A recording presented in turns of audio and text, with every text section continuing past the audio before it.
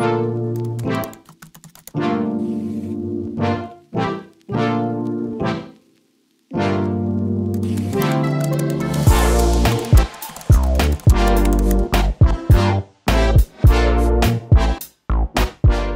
Ich heiße euch ganz herzlich willkommen zum Webinar Goldbarren heben, sich mit wirtschaftlichen Geschäftsbetrieb unabhängig finanzieren mit Klaus-Dieter Becker. Und das ist das dritte Webinar in unserer Reihe Politische Fitness. So wird eure Organisation stark in rauen Zeiten. Ich bin Hanna von Open Transfer Zusammenhalt, einem Programm der Stiftung Bürgermut. Und wir schaffen mit Open Transfer Zusammenhalt eine Plattform für Initiativen und Organisationen in vor allem Ostdeutschland, die den gesellschaftlichen Zusammenhalt stärken. Und jetzt möchte ich gerne Klaus-Dieter Becker begrüßen. Hallo. Hallo, guten Morgen. Hi. So, das ist jetzt auch das letzte Mal, dass ich Klaus-Dieter gesagt habe, aber jetzt nur noch Klaus. So, Alles klar. Ich mich ganz herzlich.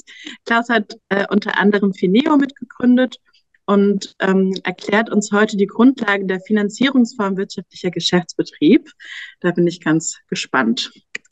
Wer schon mal bei unseren Webinaren dabei war, weiß, dass wir immer mit einer Frage und einem kleinen Spiel beginnen, um unsere Referentinnen etwas kennenzulernen. Daher jetzt die Frage an dich, Klaus. Wer ist dein Vorbild, wenn es um politisches Handeln geht? Ja, gleich eine ganz einfache Frage zu Beginn, ne, ähm, die ihr mir hier stellt. Ähm, das ist gar nicht so einfach. Ähm, ich habe tatsächlich nicht so wirkliche Vorbilder grundsätzlich gehabt in meinem Leben. Ähm, ich glaube, wenn, wenn ich eins nennen würde, wäre es tatsächlich meine Mutter.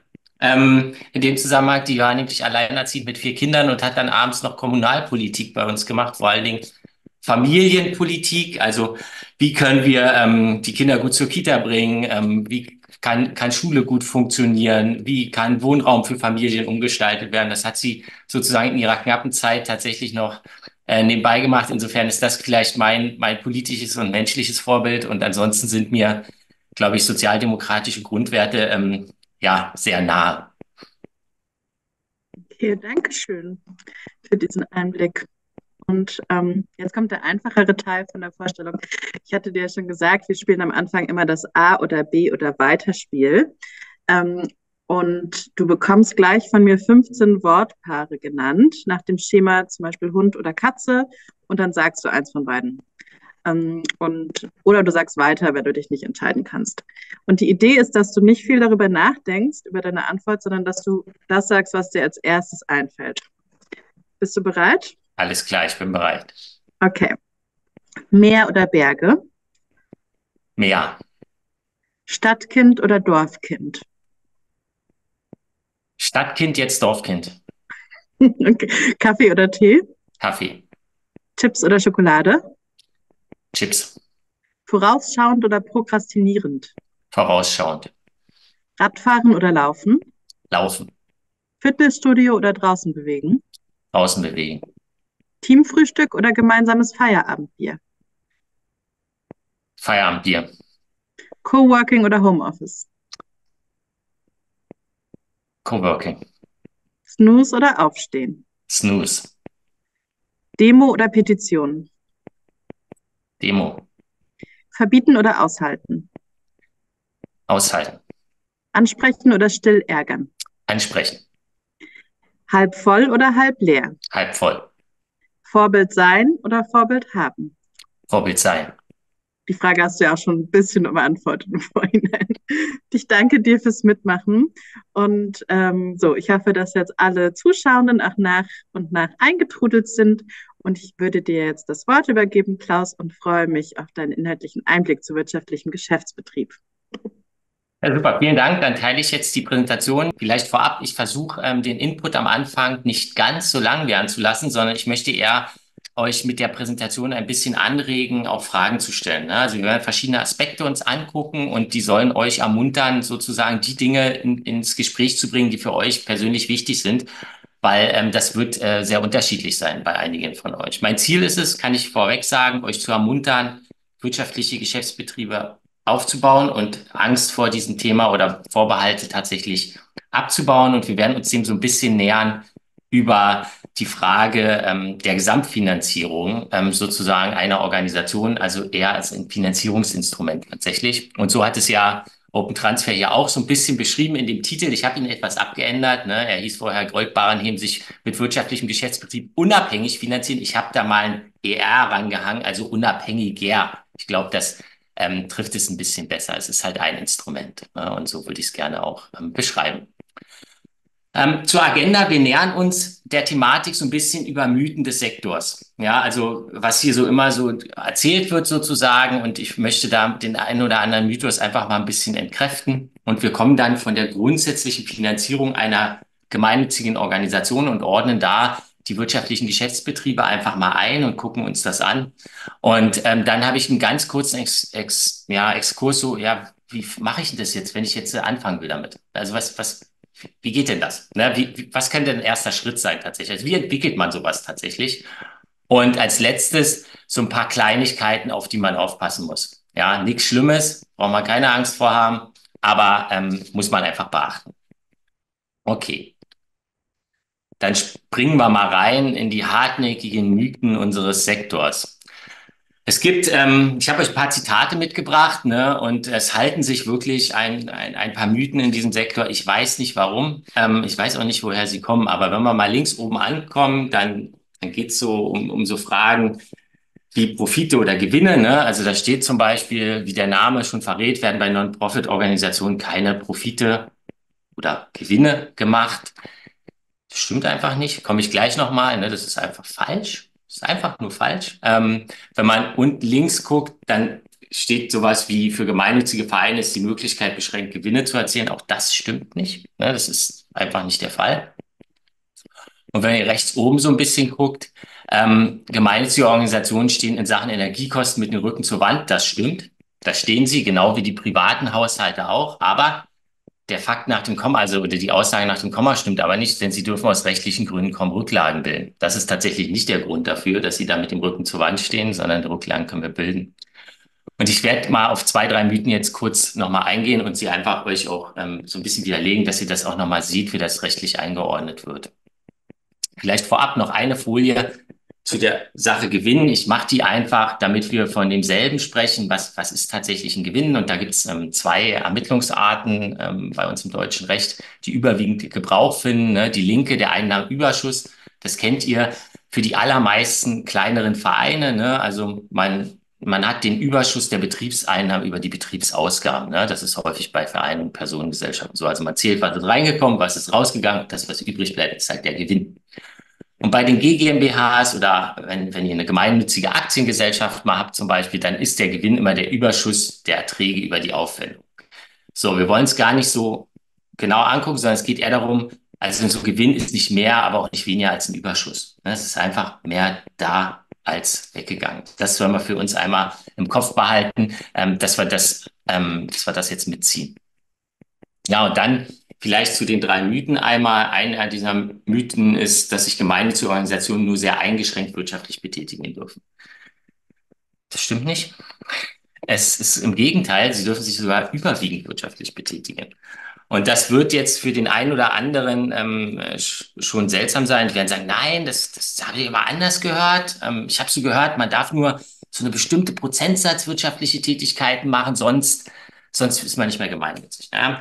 Das ist, was ihr da gehört habt oder was da durch den Sektor getragen wird, das ist eine, man nennt sie Geprägetheorie, die wurde im Jahr 2007 vom Bundesfinanzhof verworfen. Ja, also seit 2007 gibt sie nicht mehr. Das ist fast 20 Jahre her. Ähm, aber sie geistert durch den Sektor und vor allen Dingen geistert sie auch durch die Steuerberatung. Warum? Alle Steuerberatungen oder Beraterinnen, die vor 2007 ihren Abschluss gemacht haben und danach keine Fortbildung gemacht haben, erzählen das immer noch. Ja, also das ist tatsächlich ein Fortbildungsproblem oder ein Bildungsproblem. Ähm, es ist tatsächlich so, dass ihr sogar überwiegend wirtschaftlich tätig sein dürftet. Der entscheidende Punkt ist die, die Mittelverwendung. Ihr müsst die Gewinne davon, ähm, die Überschüsse gemeinnützig verwenden. Also das heißt, euren ideellen Tätigkeiten zufügen zum Beispiel. Das ist, das ist eine, eine Art und Weise, wie man das macht dann. Das Zweite ist, was immer wieder durch die Gegend ähm, wütet, ist, gemeinnützige Organisationen dürfen oder sollen keine Gewinne erwirtschaften. Das wird häufig mit dem Zusammenhang von Non-Profit ähm, genannt. Ne? Also wir, der Name sagt es ja schon, ist dann häufig so. Also wir sind ja Non-Profits, also wir machen keine Gewinne. Nein, das sagt das Wort eigentlich gar nicht aus, sondern das Wort sagt eigentlich aus, dass der Zweck der Gesellschaft nicht die Erzielung oder Maximierung von Gewinnen ist. Ja, also das heißt, in eurem Fokus steht jetzt nicht das Geld verdienen und ganz viel Gewinne machen, sondern in eurem Fokus steht eine gesellschaftliche Veränderung ne, oder eine Bildungsaufgabe, die ihr erreichen wollt. Aber das schließt überhaupt nicht aus, dass ihr Gewinne erwirtschaften dürft. Und ähm, es ist ausdrücklich erlaubt. Ähm, es gibt auch keine Gewinnbegrenzung. Ihr könnt also theoretisch Milliarden Gewinne machen. Das ist gar kein Problem. Das Problem ist die Regulierung der Mittelverwendung. Also ihr müsst diese Gewinne halt gemeinnützig verwenden. Und ähm, damit, damit ihr mal ein Gefühl habt, auch nochmal, um das klarzustellen, das Gemeinnützigkeitsrecht, das ist ein Steuerrecht. Das geht ganz klar davon aus, dass gemeinnützige Organisationen Gewinne machen. Denn es hat so Regelungen in der Abgabenordnung, die sich nennen zum Beispiel Rücklagen und Vermögensbildung. Ne? Ähm, also wie soll man Rücklagen und Vermögen bilden, wenn man keine Überschüsse hat? Ne? Also das heißt, ihr seht, die beschäftigen sich eher mit der Regulierung von Überschüssen in, in der Abgabenordnung. Es wird dann steuerpflichtiger wirtschaftlicher Geschäftsbetrieb ähm, mit, mit, mit definiert. Das heißt, man geht von der wirtschaftlichen Betätigung aus und die ähm, zielt in der Regel auf, auf Überschüsse oder sagt der Gesetzgeber, so soll sie es produzieren. Und es gibt natürlich auch die Zweckbetriebe, die ihr kennt aus dem Bildungsbereich zum Beispiel auch. Ähm, das ist halt einfach ein steuerbegünstigter wirtschaftlicher Geschäftsbetrieb. Auch dort geht man von Überschüssen aus. Der Mythos hält sich aber ähm, ja immer wieder. Der nächste vielleicht noch, ähm, Mythen im gemeinnützigen Sektor Rücklagen. Ähm, da geht es darum, die dürfen keine Rücklagen bilden und die Geld nicht sparen. Also wenn wir dann mal zu viel haben, dann müssen wir schnell ausgehen, wir dürfen es nicht irgendwie behalten. Ne? Und auch das ist, ähm, ist, ist ein Mythos. Ähm, ihr könnt ausdrücklich Geld in Rücklagen stecken. Ja, das ist Paragraph 62 Abgabenordnung. Ähm, und selbst wenn ihr keine Rücklagen bildet, ne, also Rücklagenbildung ist ein aktiver Prozess. Man sagt, wir nehmen hier dieses Geld und stecken es in eine Rücklage. Es ist dann auch so gekennzeichnet. Selbst wenn ihr es nicht in eine Rücklage steckt, sondern einfach nur auf dem Konto behaltet, dann muss das Geld nur zeitnah verwendet werden. Ich werde jetzt hier nicht auf die zeitnahe Mittelverwendung eingehen, aber wen das interessiert, dann haut das später in die Fragen dann sage ich auch noch mal was ähm, zu den zeitnahen Mittelverwendungen, damit ihr mal ein Gefühl habt, was könnt ihr so theoretisch vor euch herschieben an Geld. Ne? Sind ungefähr zwei bis drei eurer Jahresbudgets. Ja, das könntet ihr steuerlich sparen, ohne dass ihr irgendwelche Probleme mit der Gemeinnützigkeit kriegt. Ne? Das ist so eine Daumenregel. Wie es genau ähm, passiert, siehst du in, in, in 55, ähm, 5. Genau, damit ihr mal ein Beispiel für so eine Rücklage habt, habe ich euch hier mal die Bilanz der Bertelsmann Stiftung mitgebracht, ähm, was die so in die Rücklagen gestopft haben, ne, tatsächlich. Und das sind nicht 514.000, sondern wenn ihr mal links oben guckt, das ist passiver in 1000. Das sind 514.000, das sind 514 Millionen in 2020 und in 2021 sind es schon 560 Millionen die da in den Rücklagen, also die gespart wurden. Das ist tatsächlich noch die kleinste Zahl des Sparens der Bertelsmann Stiftung. Da kommt noch das hinzu, was sie gar nicht in Rücklagen gesteckt haben, sondern was einfach munterlustig ähm, irgendwo rumliegt. Aber das seht ihr auch mal, dass die Rücklagenerhöhung hier allein in einem Jahr 36 Millionen Euro war. Ja, und, und das ist einfach gespartes Geld. Ja, und, ähm, und dann seht ihr mal, was, was möglich ist. Ähm, ihr könnt sowas euch auch mal bei anderen Organisationen tatsächlich angucken. Ähm, man muss sie natürlich erwirtschaften, aber ihr seht, wenn man sie erwirtschaftet, dann kann man da ähm, ganze Menge zurücklegen. Wir springen jetzt mal in das Thema der Grundgesamtfinanzierung einer gemeinnützigen Organisation und ich will euch in dem Kontext einfach auch zeigen, ähm, wie da die, ähm, ja, die wirtschaftlichen Geschäftsbetriebe einzuordnen sind und, und warum die auch tatsächlich hilfreich sein können. Zuvor vielleicht noch was ist Finanzierung? Wenn man jetzt einen Betriebswirt fragen will, dann würde er sagen, das ist die Versorgung eines Wirtschaftssubjekts mit Kapital, damit es seine Ziele verfolgen kann. Ich würde es gerne ein bisschen einfacher halten. Wo kommt das Geld her, dass wir jeden Tag für unsere Aktivitäten ausgeben? Ne? Also womit bezahlen wir das, was wir tun? Uns, uns selber, unser Personal, unsere Aktivitäten. Ja, das würde ich hier mal als Finanzierung ähm, ähm, deklarieren. Und wenn man darauf guckt bei einer Non-Profit, dann gibt es zwei grundsätzliche Theoreme, wie man sich das angucken kann. Man kann es einmal links über die Vier-Sphären-Theorie sich angucken oder rechts über die Drei-Säulen-Theorie. Links, das ist das, was die steuerliche Betrachtung ist. Ne? Also das ist das, was auch euer ähm, entweder euer, euer Finanzvorstand im Verein sich mit beschäftigt, wenn er dem Finanzamt ähm, die Steuererklärung gibt oder euer Steuerberater, ne? die machen die linke Seite. Die ist auch richtig und ist auch gut. Ähm, die hilft einem aber im Management von Finanzen nicht so gut. Deswegen gibt es noch diese zweite Theorie, die Drei-Säulen-Theorie. ähm, die ich euch ähm, hier mit ähm, nahelegen will, die hat eher so einen Fokus auf den Mix eurer Finanzierungsarten und auf die Art eures Fundraisings. Ja, die ist also ein bisschen mehr praxisüblich sozusagen. Da guckt man so ein bisschen drauf. Aber beide sind, sagen dasselbe und sie sind auch ineinander überführbar. Ist also gar kein, gar kein Problem, aber sie gucken aus einer unterschiedlichen Richtung. Ja, wir gehen mal kurz in die Vier-Sphären-Theorie. Die kennen vielleicht viele von euch auch. Ne? Also immer, wenn ihr etwas tut, egal was ihr tut, auch jetzt gerade, seid ihr in einer dieser vier Sphären gerade unterwegs. Ne? Also es gibt immer nur diese vier Sphären und jede Aktivität von euch ist dem auch zuzuordnen. Und das Finanzamt verlangt auch, dass ihr das am Ende des Jahres macht. Also dass ihr all eure Aktivitäten, all eure Kosten, all eure Ausgaben und Einnahmen in diese vier Sphären zerlegt und genau sagt, wir haben so viel da gemacht, wir haben so viel da, wir haben so viel da, wir haben so viel da.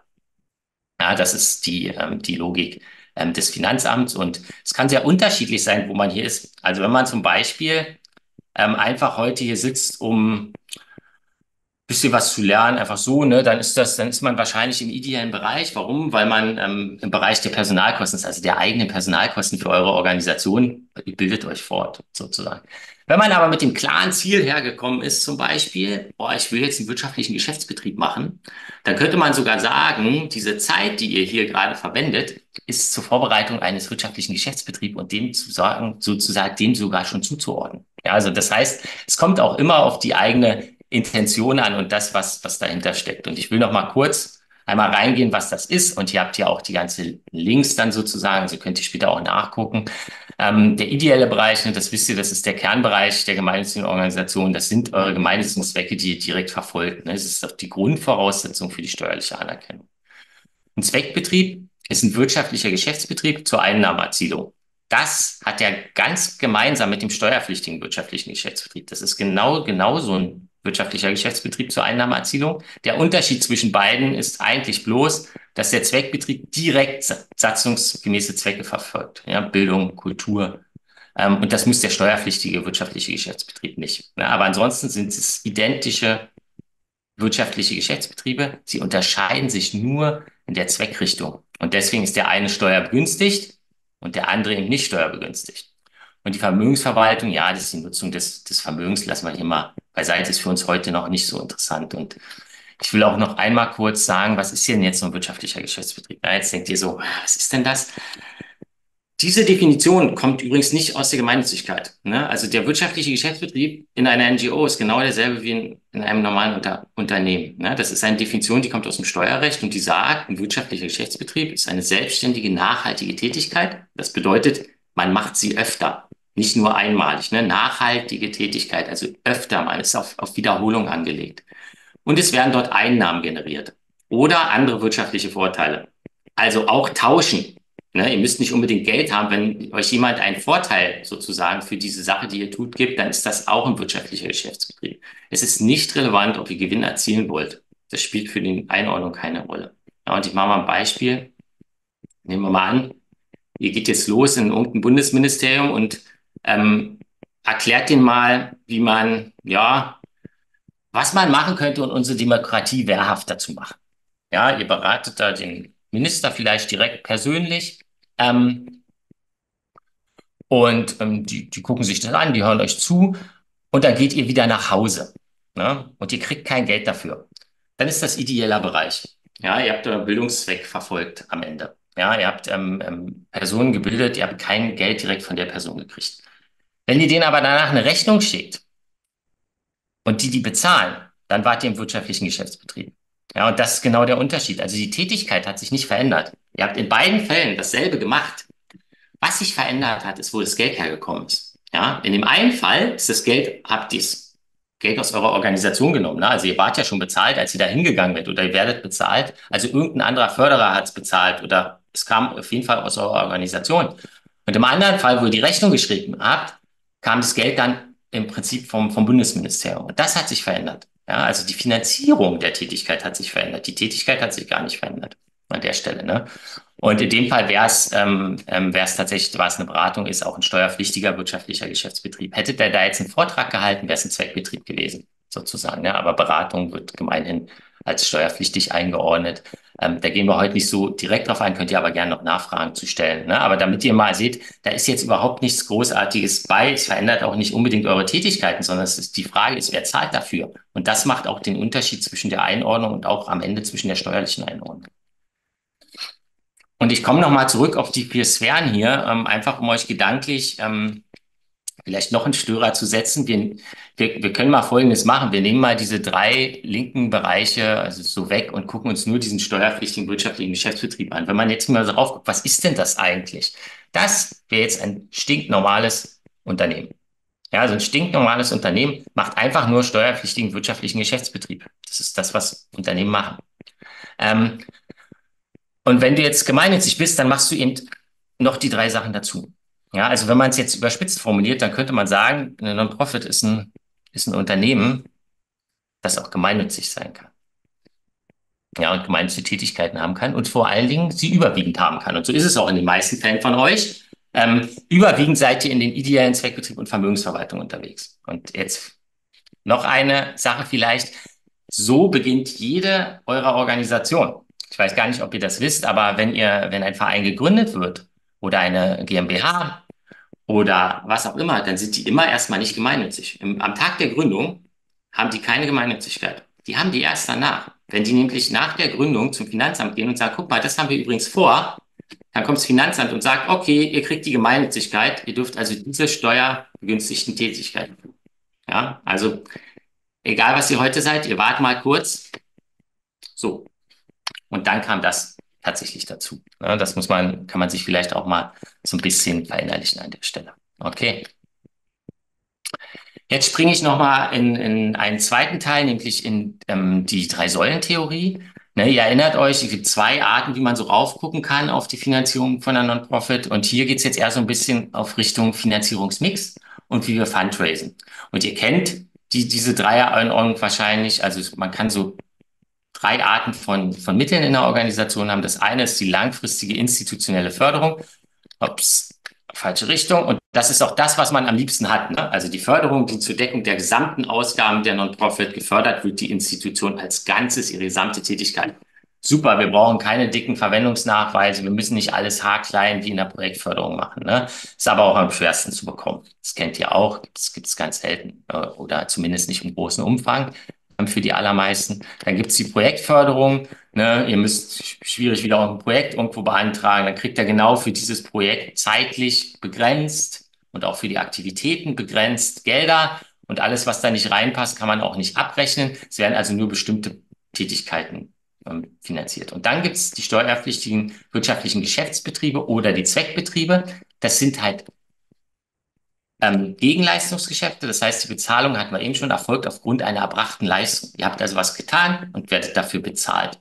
Und das Spannende jetzt ist, wenn man an die wirtschaftlichen Geschäftsbetriebe eben denkt, ist, dass sich je nach Ausprägung dieser einzelnen Säulen eben unterschiedlicher Mix ergibt. Ne? Also wie sieht meine, wie sind, stehen die Säulen in einer Organisation zueinander? Und ich glaube, was man, was man auf jeden Fall sagen kann, ist, dass ähm, wenn man einen wirtschaftlichen Geschäftsbetrieb hat, die eigene Finanzierung diverser wird. Ja, also man kann sich angucken, wie viel möchten wir davon machen. Aber im Grundsatz eine weitere Finanzierungssäule zu haben, macht erstmal eine Finanzierung diverser und damit in der Regel auch weniger anfällig. Ja, also das ist tatsächlich ein, ein Aspekt. Und dann hängt es auch von der eigenen Präferenz ab. Es hängt auch davon ab, welche Tätigkeiten möglich sind in eurem Kontext, ne, wie groß diese Säule tatsächlich ist. Und wichtig ist aber, dass man als Organisation so ein Bild hat. Also so ein Bild, wie wollen wir eigentlich diese Verteilung haben? Ne? Und, und, und hier kann ich euch äh, nur ermuntern, darüber nachzudenken, wenn ihr sie noch nicht habt oder nur sehr klein, mal für euch einfach einen Punkt festzulegen. Also wie groß hättet ihr denn das gerne? Ne? Um dann auch tatsächlich auf dieses Ziel, Ziel hinzuarbeiten. Gut, das zur, so ein bisschen zur theoretischen Einordnung und wo wir herkommen und zu den Mythen. Und jetzt springen wir mal ähm, die nächsten Minuten noch ähm, einmal kurz, wie macht man das denn jetzt? Also wie, wie, wie fängt man denn jetzt eigentlich an? Und ähm, es gibt eigentlich ähm, zwei Richtungen, die man machen muss. Das eine ist, man muss einen Kreationsprozess machen. Und das zweite ist, man muss das dann aufbauen und professionalisieren. Und hier ist mir wichtig, dass ihr das auch wirklich ähm, also mitnehmt. Das ist ein Kreationsprozess. Das ist also nichts, was man irgendwo nach, also nachgoogelt das Ergebnis, sondern man muss sich wirklich hinsetzen und überlegen und man braucht verschiedene Denkansätze. Das ist also was, ähm, das kennt ihr auch von Kreationen, man setzt sich irgendwie zwei Wochen hin, es kommt nichts bei raus und dann hat man eine Minute drüber, irgendwie beim Duschen drüber nachgedacht und dann fällt einem alles ein. Das ist ein echter Kreations, Kreationsprozess. Und deswegen will ich euch einfach mal ein paar Denkrichtungen geben. Also wie kann man sich gedanklich dem nähern? Ne? Aus welchen Richtungen könnte man gedanklich denken, damit man so ein, so ein Geschäftsbetrieb, damit einem sowas einfällt? was man machen kann. Das ist nämlich gar nicht so trivial. Okay, Ansätze für den Kreationsprozess. Also zunächst kann man mal so ein bisschen gucken, wenn man nach Aktivitäten sucht, ähm, einmal nach so Schlagworten wie Umsatz- und Ertragserwartung von einer Tätigkeit und die Nähe zur Kernaktivität. Ja, also wenn man sich überlegt, was könnten wir alles machen? Also wir könnten beraten, wir könnten vielleicht Fortbildung machen, wir könnten also guckt man mal so ein bisschen, wie sind eigentlich die Umsatz- und Ertragserwartungen davon und wie hoch ist die Nähe zu den Kernaktivitäten? Und wenn man in diese Richtung denkt, naja, dann, dann ist es eigentlich, ist natürlich super, wenn wir eine hohe Umsatz- und Ertragserwartung haben und eine hohe Aktiv Nähe zu den Kernaktivitäten. Ne? Also, weil das ist ja eh die Sache, die ihr schon verfolgt und die ihr wichtig findet, die ihr relevant findet. Und wenn sich das noch verbindet mit einer Einnahmenmöglichkeit, dann ist doch super. Ne? Wir hatten vorhin das Beispiel, wir beraten das Bundesministerium. Ne? es ist sowieso gut, wenn wir Politik ein paar Sätze sagen können und wenn die uns dann noch dafür bezahlen, dann, dann matcht das doch eigentlich sehr gut. Ja, das ist eigentlich eine, eine schöne Sache. Dann gibt es natürlich ähm, noch den Fall, ähm, die Nähe zu den Kernaktivitäten ist nicht so hoch, aber es gibt halt Geld. Ja, und das ist, glaube ich, auch eine überlegenswerte Kombination, wo man sagt, na ja, das hat schon noch was mit unserer Kernaktivität zu tun, aber wir können, es ist jetzt vielleicht nicht an Nummer eins, aber wir können damit Umsätze und Erträge generieren und können diese Erträge benutzen, um andere Aktivitäten quer zu finanzieren. Ja, das ist also auch ein Aspekt, wo man sagen kann, ja, in die Richtung kann man denken. Und dann gibt es natürlich auch noch die, die Logik, ähm, dass ich, dass sage, ich habe hohe Nähe zu Kernaktivitäten, aber sehr geringe Umsatz- und Ertragserwartung. Das geht auch sozusagen, ja, hat halt den Nachteil, dass nicht viel bei rumkommt und das, also wenn du wenig Umsatz- und Ertragserwartung hast, dann hast du auch meist wenig Aktivität, ne, weil das hängt ja zusammen. Es ist ja ein Leistung gegen Leistungsgeschäft. Also wenn du wenig machst, äh, wenig Geld kriegst, dann hast du auch wenig gemacht. Dieser, dieser Zusammenhang ist, ist sehr häufig so, aber auch das geht. Was natürlich keinen Sinn macht, ist irgendwie ähm, ich habe keine, keine Erwartung an Umsatz und Ertrag und es hat auch nichts mit meinen Kernaktivitäten zu tun. Also da brauchen wir nicht so richtig hingucken. Ne? Das ist eine Richtung, wie man sich mal so Aktivitäten angucken kann. Das zweite ist, man kann mal systematisch sichten, welche Anfragen kriegen wir eigentlich immer wieder per E-Mail, auf einer Konferenz, per Telefon, von, ne, was, was fragen uns die Leute eigentlich, was wir können? Und da könnte sowas sein wie, macht ihr eigentlich auch Fortbildung zu dem Thema oder beratet ihr eigentlich auch? Oder könnt ihr uns helfen, das und das umzusetzen bei uns? Ne? Das können, können so Fragen sein, die euch darauf hindeuten lässt, was andere bei euch an Fähigkeiten vermuten. Oder könnte von eurem Team jemand mal zu uns kommen und uns dabei unterstützen? Ne? Also einfach mal systematisch eure ähm, der Dinge, die man an euch heranträgt, mal sichten. Warum ist das interessant? Ihr könnt daraus ähm, eben entdecken, sozusagen, was andere bei euch vermuten an Kompetenzen. Ja, und das ist ähm, manchmal erstmal wichtiger als das, was ihr wirklich könnt. Ja, also ganz häufig ist es so, dass bei euch Fähigkeiten und Aktivitäten vermutet werden, die ihr vielleicht noch gar nicht könnt oder gar nicht gemacht habt, aber andere vermuten die. Und das kann ein Ausgangspunkt sein, von dort ein Angebot zu entwickeln. Ja, es ist auch wieder eine Denkrichtung, wie man sich dem nähern könnte. Falls ihr im Hintergrund so ein kleines Schreien hört, dann ist das meine, äh, mein dreimonatiger Sohn sozusagen, der, der ein bisschen rum, rumplärt sozusagen, also nicht davon stören lassen. Dann dritte Art und Weise, wie man sich dem nähern kann, ist, ähm, wir suchen mal nach Ressourcen und Zugängen, auf die wir vielleicht einen exklusiveren Zugriff haben als andere. Das kann spezieller Kontakt sein. Ja, also ihr habt spezielle Kontakte irgendwohin, ähm, die einfach nü nützlich wären, um, um eine Idee zu entwickeln. Oder ihr habt eine bestimmte Infrastruktur. Ich habe zum Beispiel mal ein Umweltbildungszentrum aufgebaut. Das hat ein Stück Land. Und ähm, wir haben Umweltbildung zu Zugvögeln dort gemacht.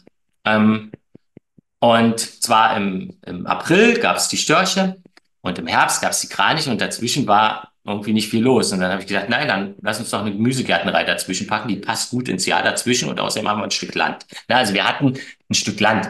Es kann auch ein schönes Büro sein oder Räumlichkeiten. Es kann ähm, also irgendeine Infrastruktur sein, die euch vielleicht ähm, ähm, zur Verfügung steht. Es kann auch ein guter Zugang zu einer bestimmten Zielgruppe nochmal sein. Ne? Also ihr habt besondere Zugänge zu bestimmten Zielgruppen. Das sind meist Akteure, mit denen ihr eh vielleicht in der ide idealen Tätigkeit zu tun habt, aber ähm, vielleicht, also das unterscheidet euch. Ne? Ihr habt diesen Zugang. Ich habe den vielleicht nicht gerade, ne? sondern ihr habt den vielleicht. Und Wissen kann das sein und auch gutes Personal kann das sein. Gutes Personal, damit, damit meine ich eigentlich im Wesentlichen, also Leute, die eine bestimmte Fähigkeit haben, die zum Beispiel selten ist. Ne? Und das ist damit gemeint, sozusagen, in diesem Kontext hier. Also auch eine Denkrichtung, wie wir das Ganze mal äh, angucken könnten. Und eine letzte will ich euch noch geben. Ähm, man kann einfach mal bei der Konkurrenz gucken. Die Konkurrenz steht hier natürlich in Anführungsstrichen, ähm, ähm, weil, weil es meistens keine, keine echte Konkurrenz ist. Aber man kann einfach mal gucken, was machen andere. Ja. Und ganz ehrlich, ähm, ich glaube, das ist einer der größten Triebkräfte. Ne? Also, weil ähm, die wenigsten sind die, die jetzt alles kreieren und sich ausdenken. Es gibt eine viel größere Gruppe, die einfach klug kopiert. Ja, also das ist, ähm, das ist ein ganz probates Mittel. Ne? Also mal gucken, was die anderen machen. Warum? Ähm, man kann daraus ein bisschen ableiten, funktioniert es. Also wenn etwa, wenn andere etwas dauerhaft machen, ähm, dann, dann ist das zumindest ein Indikator, dass es funktionieren könnte. Ne? Und man kann wenn man Konkurrenz anguckt, dann guckt man nicht nur deutschlandweit, guckt man international. Also ganz viele Entwicklungen sind, ähm, sind andere Länder vielleicht ein paar Jahre vor uns. Ähm, da kann man auch mal gucken, ne? ähm, was, was gibt's da an Aktivitäten oder was, was macht da eigentlich Zivilgesellschaft ähm, und ähm, auf die Richtung. Ne? Und jetzt habe ich euch mal vier Denkrichtungen gegeben für den Kreationsprozess. Es gibt bestimmt noch unendlich viele weitere. Ähm, aber es bleibt dabei, es ist ein Kreationsprozess und ihr, ihr müsst euch dem so gedanklich nähern ja? und, und das tatsächlich ausprobieren. Und wenn man das dann aufbaut, und dann sind wir auch gleich durch und gehen auf eure äh, Fragen zu dem Thema ein, ähm, noch ein paar Vorbemerkungen. Es ist normal, wenn man das, was man anbieten kann, nicht direkt beherrscht. Ja, ähm, um es mal ganz praktisch zu machen, also falls ihr mal jemanden beraten wollt, dann ist es nicht unüblich, dass ihr keine Ahnung habt, wie man berät oder wie man ein Angebot schreibt. Das ist normal. Also das ist vor allen Dingen kein Grund, es nicht zu machen. Ne? Also ähm, ich habe manchmal den, äh, das erlebt, dass Leute sagen, ja, wir, wir würden gerne beraten, aber wir können das ja gar nicht. Ja, das ist normal. Ne? Das, das ist der Normalzustand. Also wenn ihr feststellt, ihr könnt es nicht, dann ist das kein Grund dagegen, sondern es, es zeigt, es könnte ein guter neuer, das könnte was Gutes Neues sein.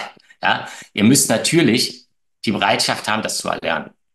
Ja, also das ist der, das ist der entscheidende Punkt. Ne? Nicht, ob ihr was könnt oder nicht, das ist nicht so relevant ähm, sondern ob man, ob man, ob man den Willen hat, es sich, äh, sich beizubringen. Und wenn, man den hat, dann ist es meist machbar. Wenn man den nicht hat, dann sollte man es nicht machen. Ne? Also der Wille ist tatsächlich hier der entscheidende Punkt.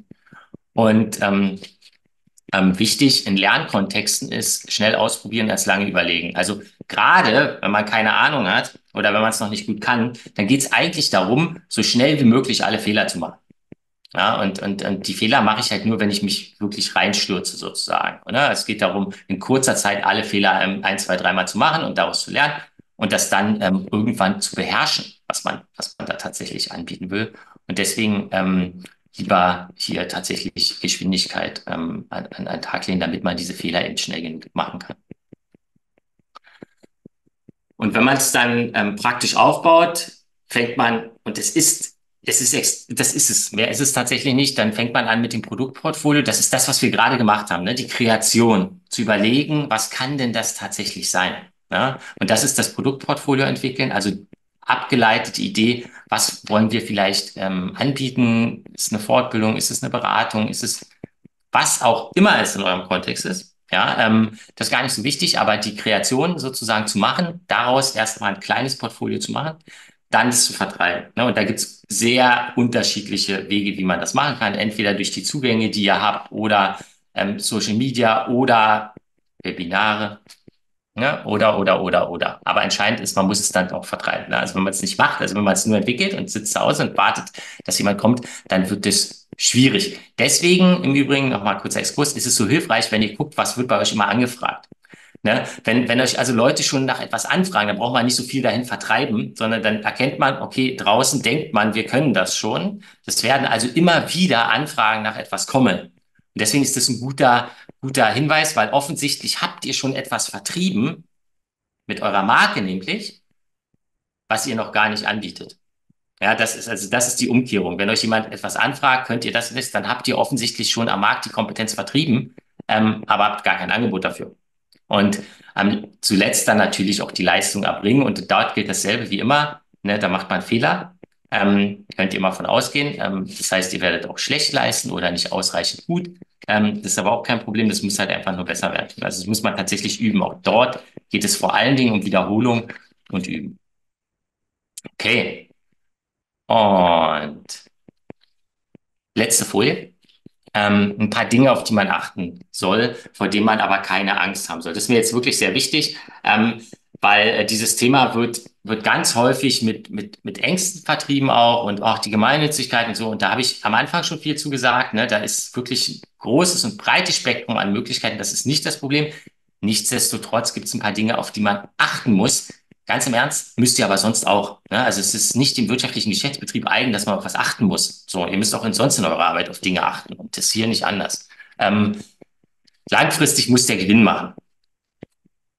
So, langfristig heißt, ähm, ich sage mal so drei bis fünf Jahre. Ne? Das heißt, auch nicht jedes Jahr muss der Gewinn machen, der darf auch Verluste machen. Verluste kann man verrechnen. Ne? Aber es muss eine, ähm, langfristig muss das äh, Gewinne abwerfen. So es ist jetzt nicht so ein hartes Kriterium, finde ich, weil ganz ehrlich, wenn das langfristig keinen Gewinn abwirft, warum machen, sollen wir es dann machen? So, also wenn, wenn dann nicht mal ein Euro rauskommt am Ende, der übrig bleibt. Ja, die Aktivitäten haben wir auch schon festgestellt, die sind schon sehr, sehr wertvoll. Ne? Also die Beratung des Bundesministeriums, das ist eine sehr, sehr wertvolle äh, Tätigkeit.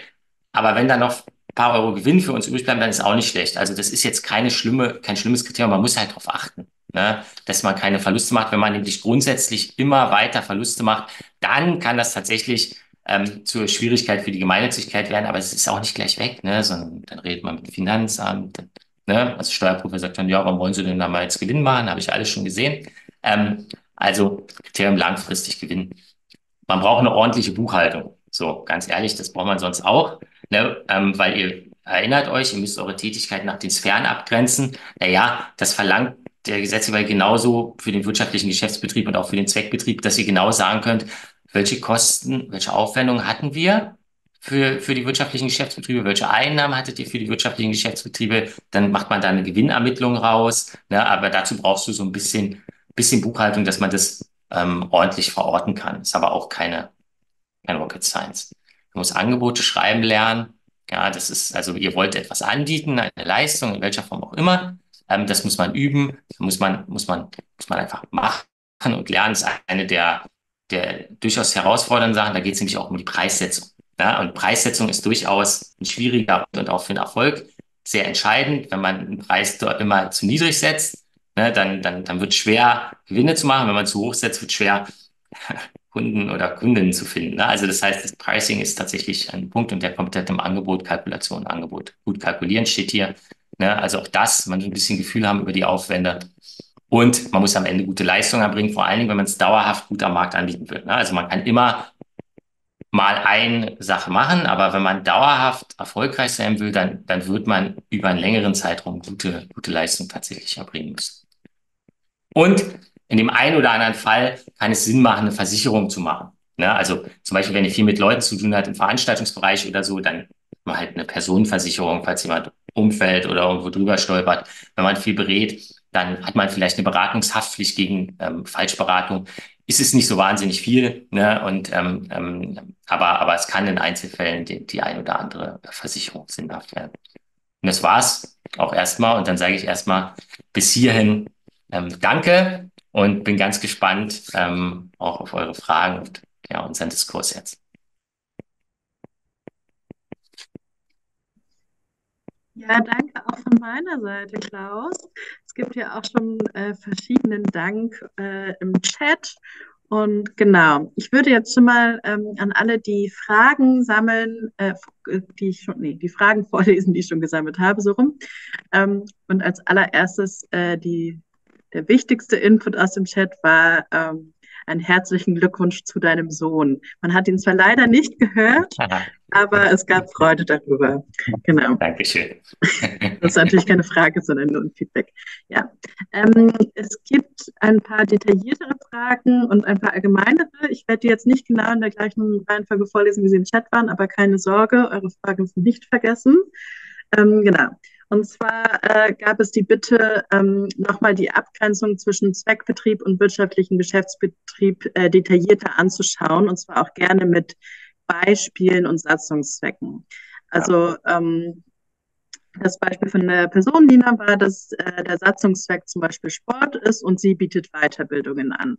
Aber ähm, ob es da vielleicht einfach, um das nochmal ein bisschen plastischer zu bekommen, du da noch ja. ein paar Beispiele hast. Ja, also ähm, ähm, der, der entscheidende Punkt ist, egal was ich jetzt sage, ist, man muss sich jeden Einzelfall am Ende angucken. Ja, also das heißt, wenn ihr das, wenn ihr das am Ende macht, dann äh, und ihr nicht selber zum Ergebnis kommt in dem Einzelfall, dann geht ihr zu eurem Steuerberater und fragt ihn, wenn ihr das Gefühl habt, der hat keine Ahnung, dann fragt ihr das Finanzamt. Ja, also ruft wirklich, ihr ruft beim Finanzamt an. Da gibt's, was glaubt ihr nicht, richtig nette Menschen. Also alle Finanzbeamten, die ich getroffen habe, waren nett bisher ähm, und hilfsbereit ähm, und finden gemeinnützige Sachen gut. Ähm, ja, also tatsächlich so. Und ähm, hier ist es einfach so, ähm, der, der, der Zweckbetrieb ähm, ähm, ver verfolgt direkt, direkt die satzungsgemäßen Zwecke. Und das heißt hier zum Beispiel, wenn du jetzt, äh, wenn du jetzt nur Sport hast, ja, wenn du nur Sport hast, dann muss deine Bildung zwangsläufig was mit Sport zu tun haben. Ja, also sozusagen, dann müsste deine Fortbildung was mit, mit dem Sport zu tun haben. Die Fortbildungen sind grundsätzlich, also Fortbildungen sind Zweckbetriebe. Ganz schön, wenn sie mit dem Zweck Bildung verbunden sind, sozusagen. Ja, also das heißt, wenn du den Zweck Bildung hast und machst Fortbildung, dann bist du immer fein, immer fein raus, solange es eine, eine Fortbildung ist.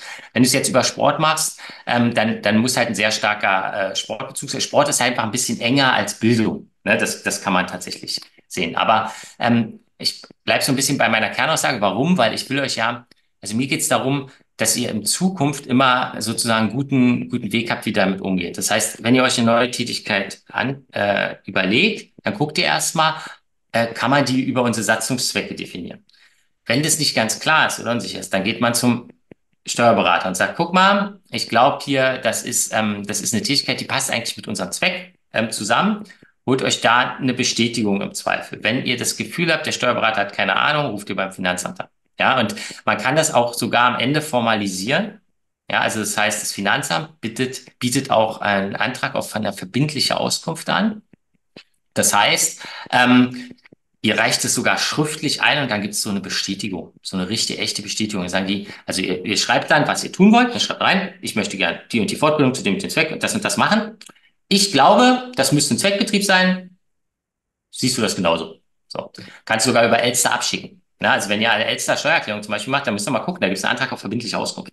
Ne, kannst du sogar, also das, das ist sozusagen ein, ein, ein, ein, ein Formular und ähm, das Finanzamt muss sich dazu auch äußern. Manchmal gibt es Finanzämter, die haben keinen Bock dazu. Das muss man auch sagen. Die allermeisten schon, aber manchmal gibt's äh, gibt's Leute, die sagen so, oh nee, wir wollen keine verbindliche Auskunft machen. Dann haben die keine Lust, ähm, sozusagen die Verbindlichkeit herzustellen. Ne? Weil der, der, das Tolle an so einer verbindlichen Auskunft ist, da kann später niemand mehr kommen und was anderes behaupten. Solange ihr das macht, was ihr beantragt habt, könnt ihr immer sagen, ja, habe ich ja bestätigt bekommen.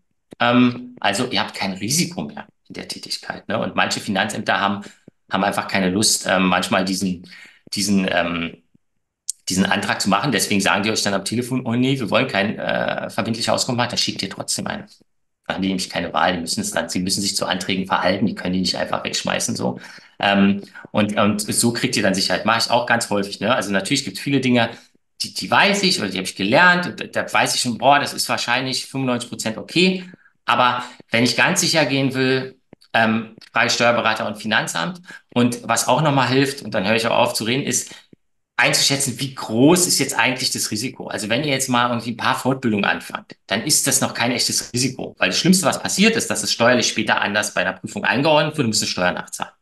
Wenn ihr das aber im Umfang von zwei Millionen Euro pro Jahr macht, dann ist es natürlich viel größeres Risiko, als wenn wir mal das für 15.000 oder 20.000 gemacht haben. Das heißt, in, in kleineren Kontexten könnt ihr euch auch einfach erstmal entscheiden, wir machen das und ihr macht dann mit der Steuererklärung des Jahres fragt, sagt ihr dem Finanzamt auch übrigens, wir haben das und das dieses Jahr gemacht, wir haben das so eingeordnet, siehst du das genauso?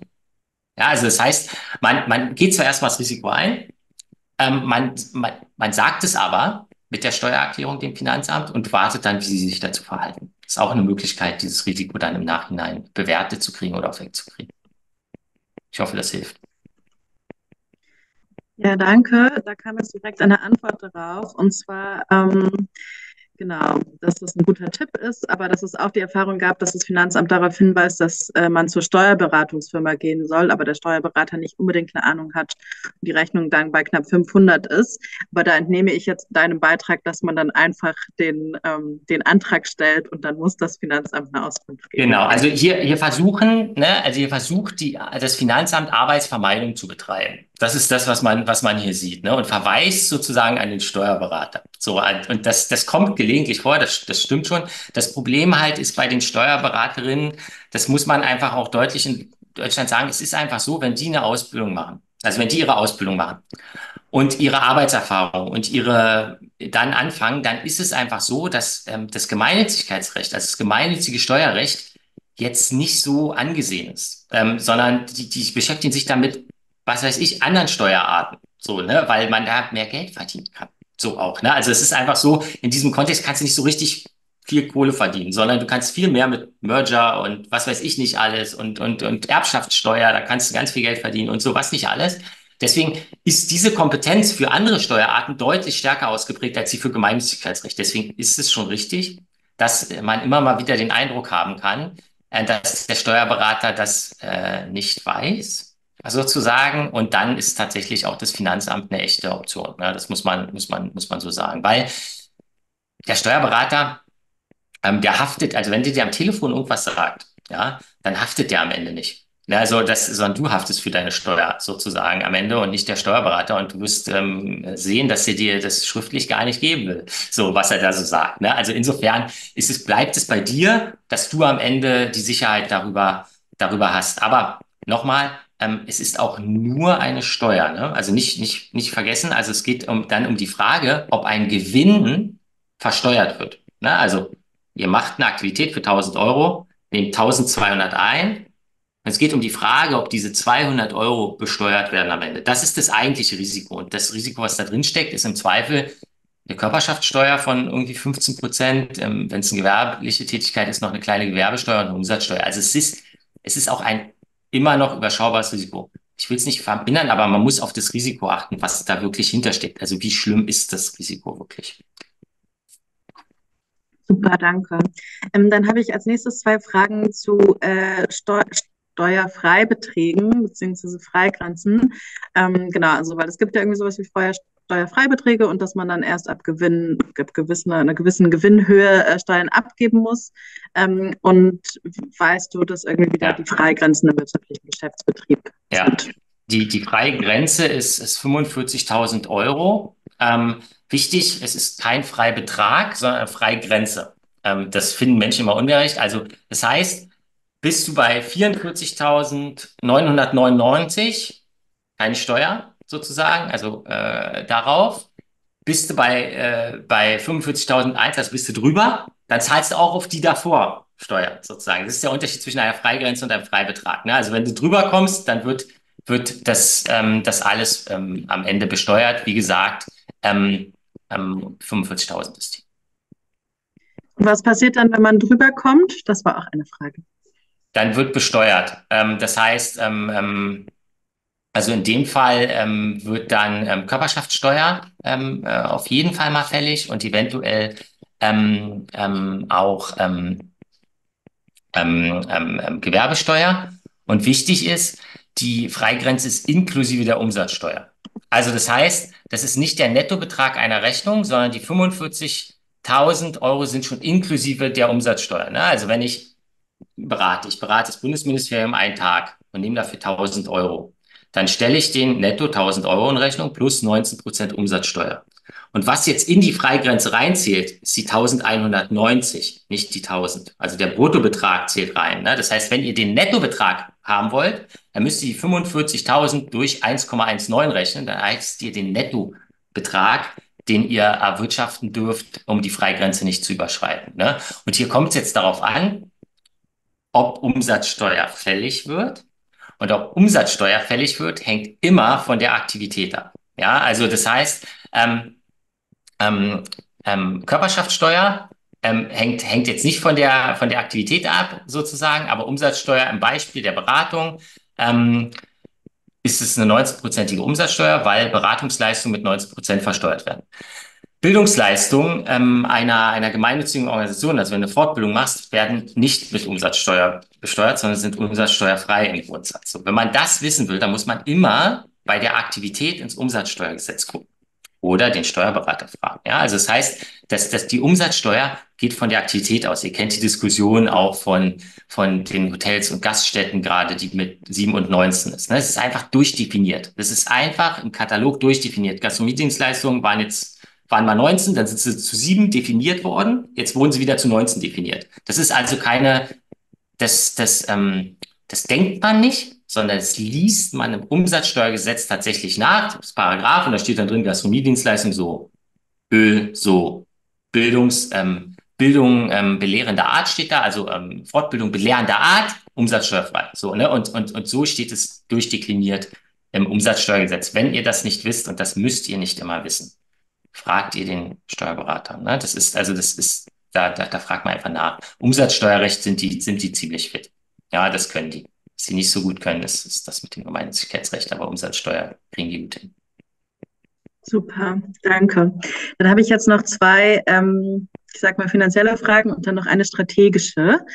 Und zwar erstmal die finanziellen. Also ähm, die Person schreibt, ich habe die Info, dass der Gewinn im wirtschaftlichen Geschäftsbetrieb nicht höher sein darf als ideeller und Zweckbetrieb zusammen. Ähm, und du hattest ja, also ist das noch mhm. korrekt, weil du hattest ja am Anfang nee. gesagt, dass diese, okay. Das ist genau diese Geprägetheorie. Also was du beschreibst mhm. ist, also der Wirtschaftliche darf nicht ähm, mehr als die zusammen, das ist ein sozusagen, dahinter steckt eine ursprüngliche Idee, dass die, die wirtschaftlichen Tätigkeiten einer Organisation kein Gepräge geben dürfen. So, also es darf eigentlich nicht überwiegend wirtschaftlich tätig sein. Und ähm, man hat dann früher gesagt, so ein Drittel. Ja, das war so die, das war so die, die geprägte Theorie. Die gibt es seit 2007 nicht mehr. Also 2007 hat das Bundes, der Bundesfinanzhof das tatsächlich aufgehoben. Und auch logischerweise, also das, ich weiß gar nicht, warum es das bis, bis dahin gab, ähm, weil, weil es macht überhaupt keinen Sinn, sozusagen rein von der Quantität einer wirtschaftlichen Tätigkeit etwas abzuleiten, sondern es geht vielmehr darum, ist diese Tätigkeit hilfreich für den gemeinnützigen Zweck. Und hilfreich ist jetzt wieder Definitionssache vom Finanzamt. Was mal mindestens hilfreich ist, sagt das Finanzamt, ist, wenn Überschüsse von dort gemeinnützig verwendet werden. Das ist hilfreich. Ne? Also wenn du schöne wirtschaftliche Tätigkeiten hast, die ein bisschen Gewinn machen und du kannst den Gewinn nutzen, dann ist das hilfreich. Und warum soll es denn dann schlimm sein, wenn es groß ist? Dann hast du ja noch mehr davon. So, ne? Also das, das, deswegen hat man es auch aufgehoben, weil man sagen könnte, also rein die Prozentzahlen anzugucken, ist hier eigentlich, äh, ist, bringt, bringt nicht die Punkte. Ne? So, und deswegen hat man, ähm, es ist, an was ihr euch halten könnt, ist, dass wenn ihr das macht und es sehr groß wird, muss es ja auch erstmal werden. Ne? Also ihr erstmal schaffen, das richtig groß zu kriegen. Aber wenn es dann richtig groß ist, dann muss halt regelmäßig Überschüsse von dort auch gemeinnützig verwendet werden. Das heißt, ihr müsst sie wirklich auch mal für gemeinnützige Zwecke ausgeben. Also nicht immer nur die Gewinne nehmen und wieder ins Geschäft reinvestieren. Ne, das, dann würde sie ja nie verwendet werden für einen gemeinnützigen Zweck, sondern ihr würdet einfach immer die Beratung immer größer machen, die Fortbildung immer mehr. So, bei Fortbildung nehme ich zurück, kommt jetzt drauf an, wenn die Fortbildung ne, im Rahmen Zweckbetrieb Bildung ist, dann, dann kannst du es sowieso unendlich machen, dann interessiert es auch gar keinen, ob du überhaupt Gewinne machst. Aber für die, für die rein wirtschaftlichen Tätigkeiten, die im steuerpflichtigen wirtschaftlichen Geschäftsbetrieb sind, muss dann halt auch mal Geld rübergehen. Aber das kriegen wir auch hin. Ne? Also wenn wir da Gewinne machen, dann ist das ja auch schön. Dann wollen wir dir vielleicht auch äh, zum Teil gemeinnützig äh, in unseren ideellen Tätigkeiten verwenden. Und das ist dann, dann ist es auch okay. Und das gilt auch für gemeinnützige Vereine? Das gilt für alle Körperschaften, ähm, die gemeinnützig sind. Ne? Immer dran denken, die Gemeinnützigkeit ist keine Rechtsform. Es ist einfach nur eine, eine, eine auf Antrag erteilte Steuerbefreiung. Ja, das ist, das ist eine Steuerbefreiungstatbestand, den man auch wieder verlieren kann. Die Rechtsform ist nie gemeinnützig, sondern immer nur die Tätigkeit, die man ausübt. Danke. So, dann habe ich noch eine Frage. Wann greift, du hattest ja auch vorhin das mit den Rücklagen erwähnt, ne? das ist auch im Beispiel der Bertelsmann Stiftung gezeigt und die Frage von Xenia ist, wann greift der Paragraph zu den möglichen Rücklagen und wann müssen Rücklagen zeitnah ausgegeben werden? Also was bedeutet in diesem Zusammenhang zeitnah? Machen wir hier ein Beispiel.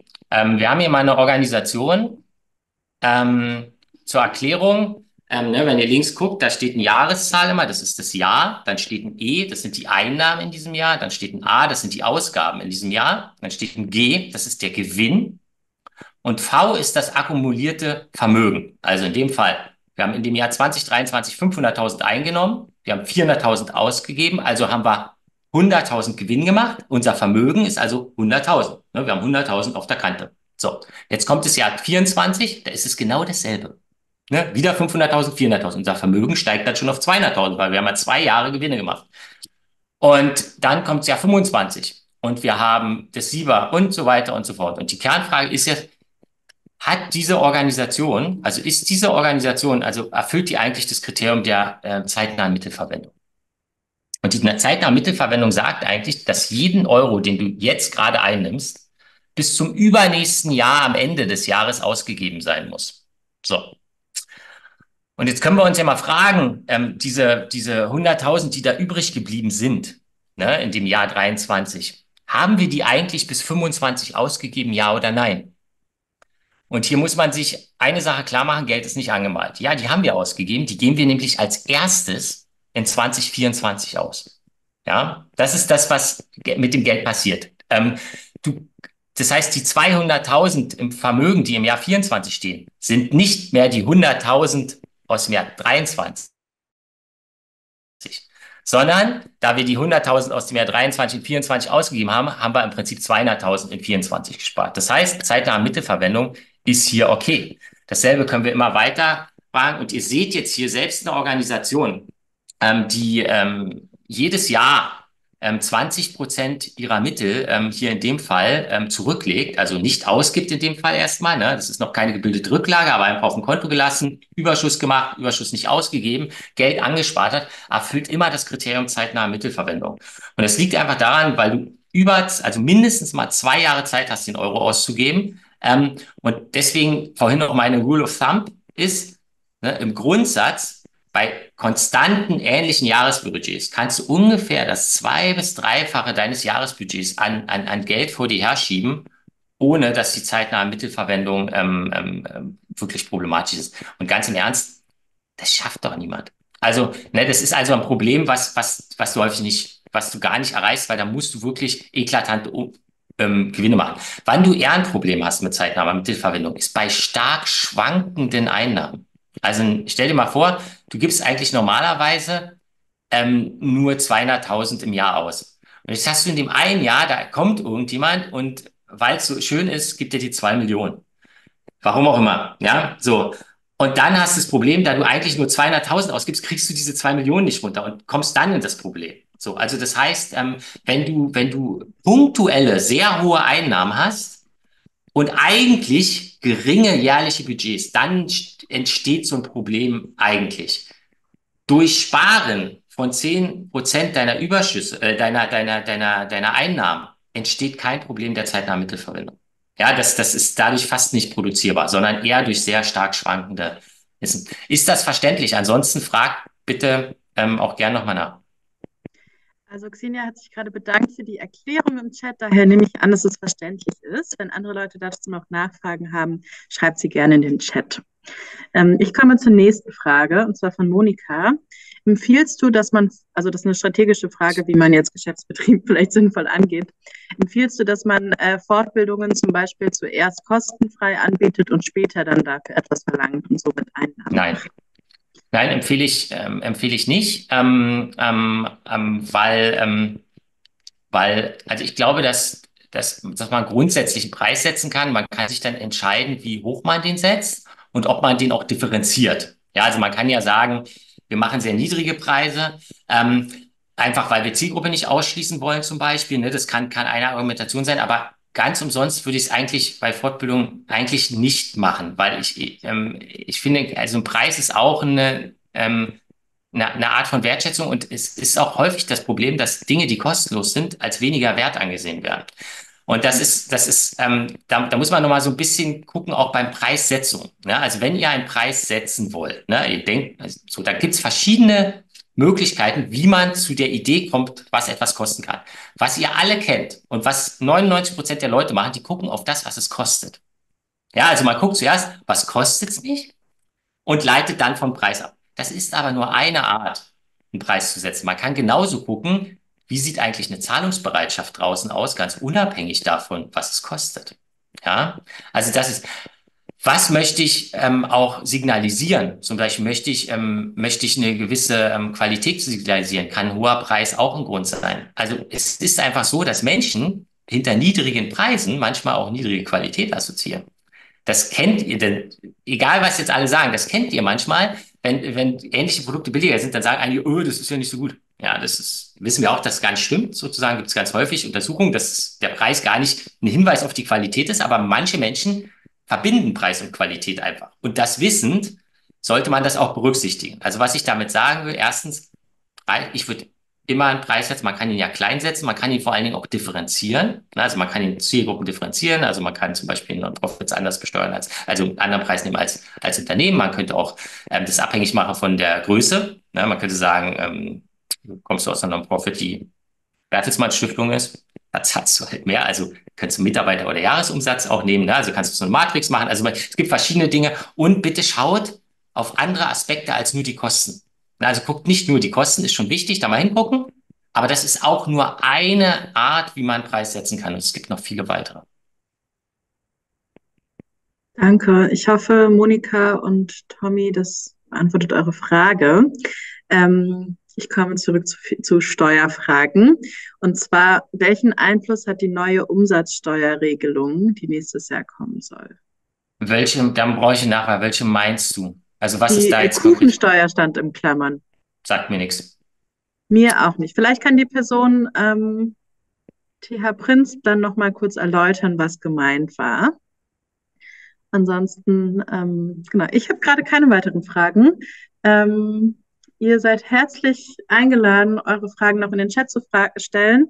Äh, auch gerne ein bisschen privater. Also wenn ihr sagt, so, ah, okay, ich habe hier diesen und diesen Fall und ich würde jetzt gerne mal die Meinung von Klaus dazu hören, dann ist jetzt die Gelegenheit dafür.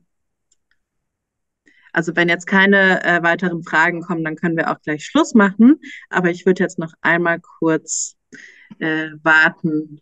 ja, nutzt gerne die Chance. Wir können auch den, wir können auch den wirtschaftlichen Geschäftsbetrieb verlassen, ne? sozusagen. Also ich habe genau, sozusagen, also es gibt die Möglichkeiten, wir können, ihr könnt das auch ausweiten. Also nützt gerne noch die Chance, wenn ihr, wenn ihr da Fragen habt. Vielleicht noch ähm, kurz, ich habe mal kurz gegoogelt zur, zur Kuchensteuer. Da geht es um die Frage, ähm, dass, dass Kuchenverkäufe dann mit Umsatzsteuer be be belegt werden an Schulen zum Beispiel. Ne? So, das ist ähm, ah. also vielleicht zwei Dinge. Ähm, das ist ganz häufig so, dass gemeinnützige Organisationen oder auch Sportvereine und Dings, die machen, machen Bewirtung in irgendeiner Form. Ne? Also entweder ähm, zum Beispiel beim Grillfest, dann wird, wird Bier und Würstchen verkauft. Und das sind natürlich, also in dem Fall zum Beispiel beim Sportverein, das sind das eigentlich wirtschaftliche Geschäftsbetriebe. Ja, das sind wirtschaftliche Geschäftsbetriebe, die sind steuerpflichtig in jeder Hinsicht dann sozusagen, wenn du über die Freigrenzen kommst, äh, sowieso, aber das ist eine wirtschaftliche Betätigung. Jetzt muss man immer so ein bisschen vorsichtig sein. Das ist so, aber man muss auch ein bisschen gucken, wo gucken Finanzämter hin. Ja, und, und da muss man ganz ehrlich sagen, ja, ihr solltet euch klar machen, dass, dass die Tätigkeit, die ihr macht, möglicherweise mit, mit Steuer belegt wird und dann müsst ihr das auch ordentlich machen und dann könnt ihr auch Umsatzsteuern abführen, dann ist das so, ne? Wenn ihr jetzt ganz korrekt seid, dann müsst ihr das auch tun. Ähm, ansonsten weiß ich aber auch, dass, dass nicht alle Organisationen das ähm, immer, immer korrekt machen und ähm, dann, dann muss man auch immer ein bisschen schauen, wo, wo ist jetzt wirklich ähm, das, das Problem vom Finanzamt. Das Finanzamt möchte am Ende Steuern eintreiben und, und, und da geht's jetzt auch nicht um 2,50 Euro. Ne? So, also das, das muss man ganz klar sagen. Also ihr müsst es sauber machen und wenn jetzt zum Beispiel auf eine Aktivität ab nächsten Jahr Umsatzsteuer erhoben wird, dann müsstet ihr das machen, wenn ihr korrekt sein sollt. Ansonsten macht ihr euch natürlich, ähm, ja, es ist eine Steuer, äh, in, in gewisser Weise, die ja natürlich auch, auch strafbar ist. Aber ähm, man muss auch sagen, in diesem Land, ähm, also das wird so nicht verfolgt bisher. Ne? Also da muss man dann tatsächlich auch gucken, wie man, wie man das abbildet.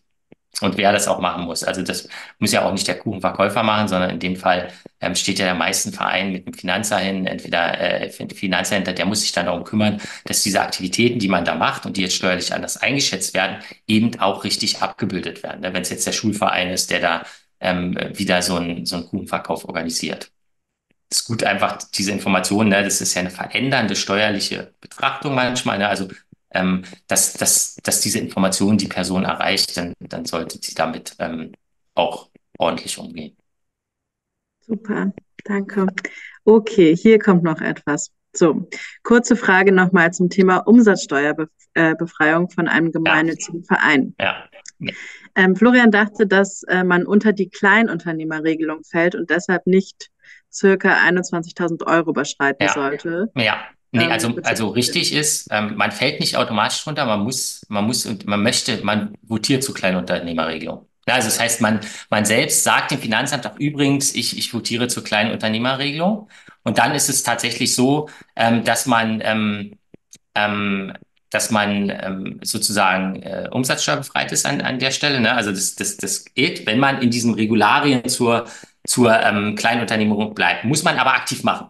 Ne? Also wenn ihr wenn ihr eine Steuermeldung macht, dann, dann, dann gibt's da so ein, da gibt's da so ein, so ein, so ein Haken, ich möchte Umsatzsteuererklärung, äh, ähm, äh, Kleinunternehmerregelung in Anspruch nehmen. Ja, und dann steht da auch die Regularien, ich weiß nicht genau, wie viel es jetzt sind, die Zahlen verändern sich auch. Du hast es bei 21.000, früher waren es 17.500, dann, dann fällt man darunter.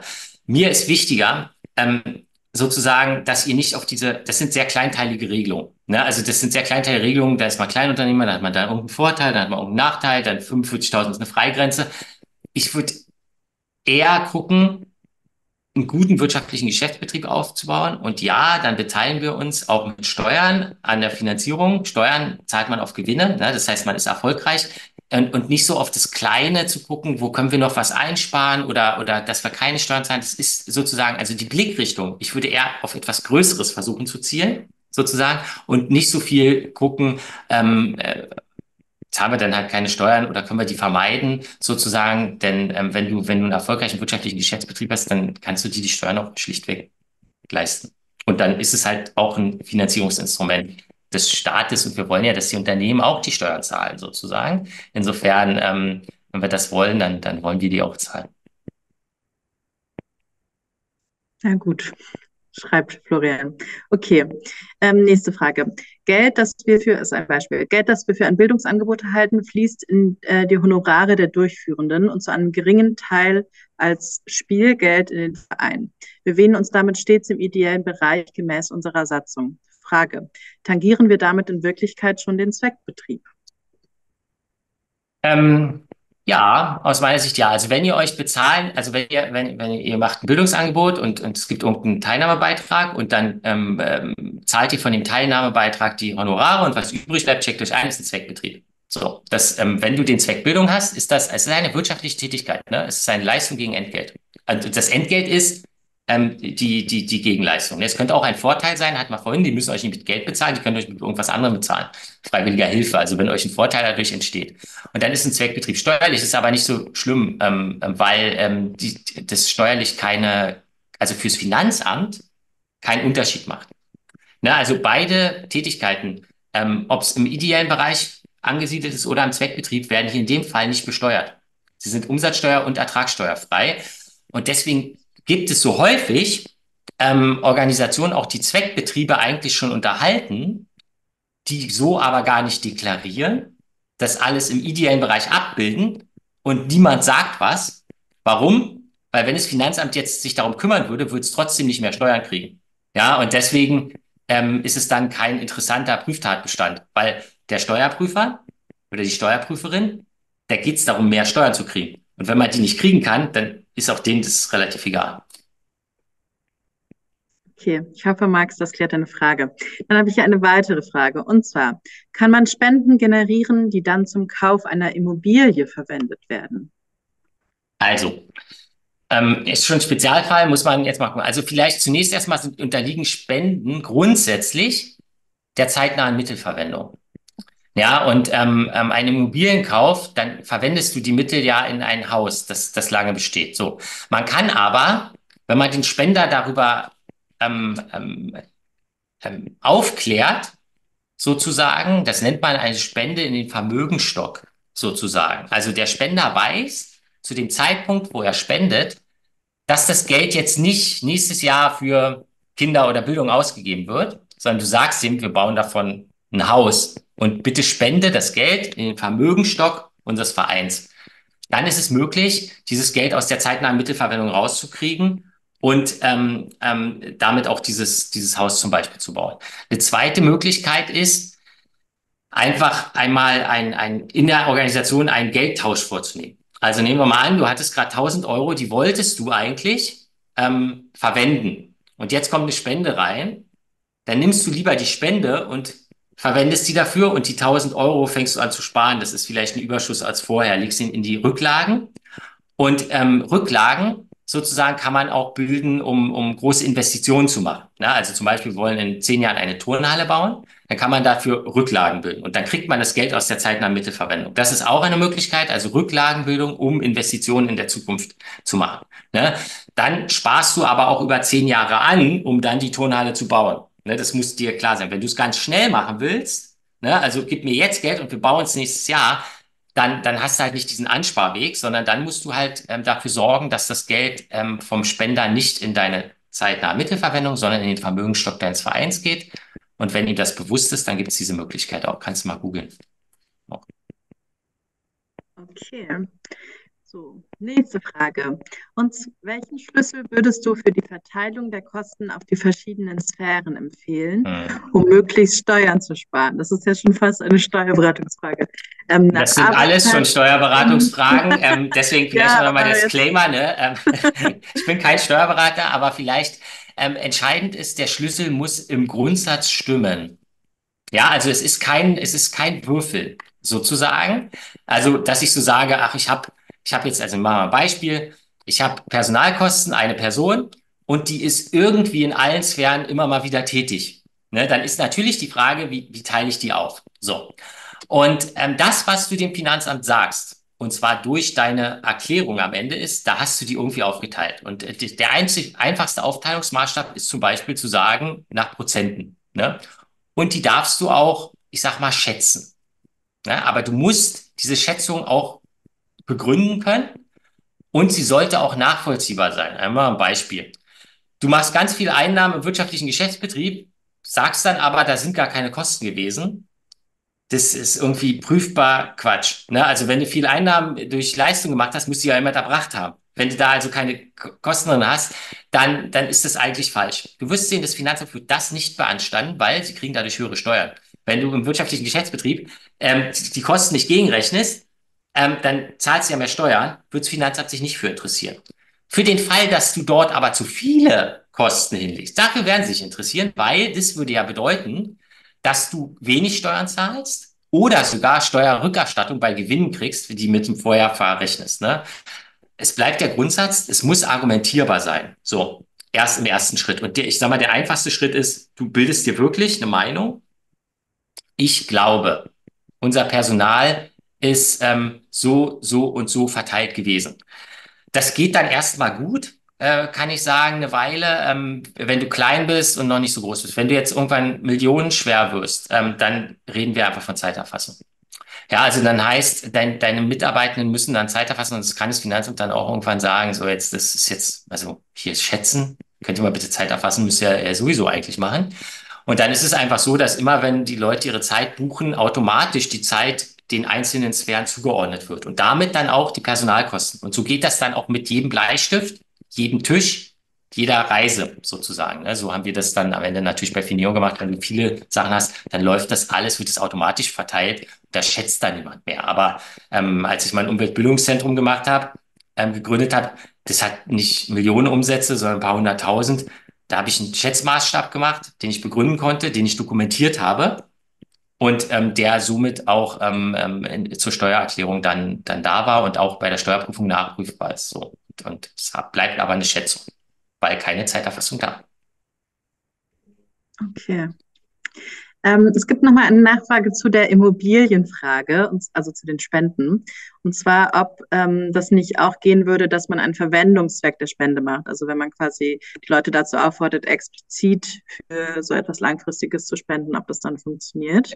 Genau, das ist, ähm, es ist sehr ähnlich zu dem, was ich gesagt habe. Ähm, sozusagen, es ist nicht ganz das Gleiche. Also natürlich, wir könnten jetzt vermuten, dass ja wenn, wenn ich jemand sage, der Zweck ist der Bau der Immobilie, dann müssten die ja logischerweise, also muss man ja verstehen, dass das Geld eigentlich nicht äh, zeitnah für irgendwas anderes verwendet wird. Ne? So, und und der, der, die korrekte Bezeichnung ist halt eine Spende in den Vermögensstock, sozusagen. Deswegen. Aber, aber ja, das ist, also es geht schon darum, dem Spender am Ende klar zu machen, wo, wofür dieses Geld verwendet wird und dass es vor allen Dingen jetzt nicht für Kinder oder gute Bildung gerade eben verwendet wird, sondern für Steine. Und deswegen bist du schon sehr, sehr, sehr, sehr, sehr nah dran mit, mit, mit dem Verwendungszweck für dieses Gebäude. Noch besser ist es, wenn man halt das verbindet wirklich mit dem Vermögensstock, dann ist auch wirklich klar, äh, das unterliegt nicht der zeitnahen Mittelverwendung. Das ist ja der Haupt, ähm, der Haupt, Hauptgrund. Ähm, ne? Nochmal ein, ein, ein anderer Gedanke dazu. Ähm, wenn du jetzt den Zweck sehr stark bestimmst, dann ist auch klar, du kannst das Geld dann nicht für was anderes verwenden. Eine Spende in den Vermögensstock kannst du schon noch freier verwenden. Ja, also das heißt, wenn, wenn, wenn dem Spender nur klar ist, es geht in den Vermögensstock, dann ist die direkte Verwendung noch nicht so klar. Also ist es jetzt eine Turnhalle oder ein Bürogebäude oder ein Auto sozusagen, sondern hier ist erstmal klar, das Geld unterliegt nicht der zeitnahen Mittelverwendung, es soll ins Vermögen des Vereins gehen. Wenn du die direkte Zweckbindung damit verbindest, was ich glaube aus Transparenzgründen eine gute Sache ist, ne, ich will dem nicht widersprechen, sondern das ist eine gute Sache, ähm, bist aber auch da festgelegt. Wenn dann die, deine Baukosten explodieren und du kannst das Ding, das, das doofe Haus nicht bauen, ähm, da musst du im Zweifel die Mittel, also formal juristisch müsstest du zurückgehen, weil du den Zweck nicht erfüllen kannst. Ne? So, das ist also ähm, insofern immer so ein, so ein, ähm, so ein ja, so eine Abwägung. Und was meistens Organisationen versuchen ist, sie sagen, es ist in den, du spendest in den Vermögenstock und wir wollen damit im besten Fall das Gebäude bauen, sozusagen. Ne? Und, und versuchen so, so ein bisschen drumherum zu schiffern, dass sie am Ende noch sagen können, ach, das Gebäude haben wir nicht gebaut, wir haben dann ein anderes gebaut. Ne? So, das ist, dass, dass diese Möglichkeit weiterhin besteht. Es ist, es ist so grau. Ja, also es ist nicht schwarz, es ist nicht weiß, es ist grau es gibt in der Regel niemanden, der das prüft. Also es muss ja auch klar sein, was ist hier eigentlich das Problem? Ähm, das Problem ist hier eigentlich die nicht zweckbestimmte Verwendung der Mittel und die muss eigentlich vom Spender kommen. Das Finanzamt guckt sich das nicht an. Das Finanzamt guckt sich die Zeit nach Mittelverwendung an. Ob du ähm, sozusagen die Zweckbindung für deine Spender erfüllst, muss sich eigentlich, also müsste eigentlich der Spender prüfen, prüft nicht das Finanzamt. Okay, danke. Ich glaube, ich glaube, das hat das Thema jetzt auch abgeschlossen. So, ähm, letzter Aufruf, noch eure Fragen zu stellen. Ich habe gerade nämlich keine weiteren. Ich würde noch kurz, hier ist ja. noch eine Frage, die zur ähm, die Realität mit der Einordnung, dass man Personalstift, Laptop, allen Sphären nutzt. Ja, das stimmt. Ja. Ähm, ähm, das, deswegen macht man Verrechnung. Ja, also tatsächlich, den Stift verteilt man auch. Und auch die Abschreibung des, ähm, des Tisches. Ne? Das macht man über äh, Gemeinkostenverrechnungssätze. Also, du musst dir das so vorstellen, wir nehmen alle Dinge, die wir, ähm, die wir gemeinsam für alle Sphären auch nutzen, sozusagen, und verteilen die nach einem gewissen Schlüssel. Und meistens ist es ganz gut, die wie das Personal zu verteilen. Also, wenn ich sage, deine Personalkosten, du bist zur Hälfte im, ähm, im WGB und zur Hälfte äh, im, im ideellen Bereich, dann ist es auch ganz gut, den Stift so zu verteilen. Ne, das ist ein, das mag zwar vielleicht nicht stimmen, weil du äh, im WGB mehr schreibst als im ideellen Bereich, aber es ist ein Maßstab, der nachvollziehbar ist. Und darum geht es bei, bei Steuern immer so. Ne? Und ähm, dann verteilt man den so. Also nehmen wir mal an, ihr habt ein Team von 20 Leuten und auch dort ist 50-50, dann verteilt man eben auch den Stift und die Abschreibung auf den, auf den, auf den Tisch nach diesem Maßstäben. Und diesen, diesen Maßstab muss man wieder selbst erstellen, also muss selbst überlegen, wie machen wir das? Und bei der Steuerprüfung erklärst du dem das. Da kommt der Steuerprüfer und sagt, was hast du denn hier gemacht? Und dann sage ich, ja, also ich habe mir das so und so gedacht ähm, und ich finde das so richtig und angemessen. Und deswegen habe ich so gemacht. Und der Steuerprüfer muss jetzt widerlegen. Das ist nämlich der Vorteil. Wenn du selbst erklärst, der Steuerprüfer muss jetzt widerlegen, dass die hälftige Aufteilung des Stiftes nicht richtig ist. Das ist faktisch nicht möglich. So, ne? Deswegen wird er sagen, okay, ja, Warum nicht? Wenn ihr zur Hälfte da arbeitet und zur Hälfte da, können wir den Stift zur Hälfte verteilen. Ne? Und damit ihr jetzt nicht jeden Stift einzeln verteilt, fasst man diese Kosten einfach zusammen am Jahresende. Also das heißt, man, man hat in der Buchhaltung das schon so liegen, dass die Sachen aggregiert werden und da verteilt man nur die Summe und nicht jeden einzelnen Stift. Super, danke nochmal für die Erklärung. So, ähm, genau, die Person, die das geschrieben hat, bedankt sich auch. Ähm, ja, ich sehe jetzt keine weiteren Fragen. Ähm, daher würde ich mich erstmal schon mal ganz herzlich bedanken bei dir, Klaus. Danke für den Input. Danke für eure Fragen und danke für deine Antworten. Ich glaube, du hast da, genau, erstens eine ganze Beratung gemacht, aber auch viele Fragezeichen klären können. Vielen Dank und bis bald. Danke dir, Klaus. Tschüssi.